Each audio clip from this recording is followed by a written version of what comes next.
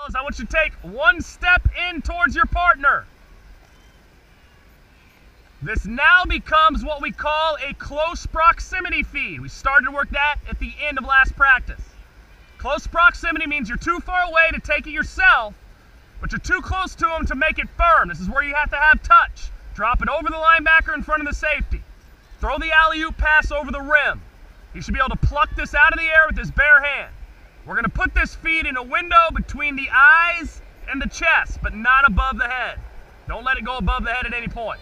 So I'm just kind of leaving it up there for him. I'm moving towards him. I'm already close. I leave it up there for him in that window. That was a little bit low even. But this will definitely have some arch on it. You'll have some touch on it. It will not be on a straight line. So let's try that. Close proximity feed. Uh, let's do it from short since we're facing that way right now.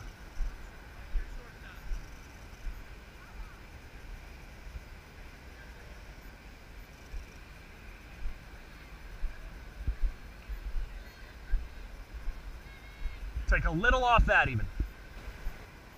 Still got to pull the glove out of the way, Sammy. Maybe even more important for that now because you're closer to him.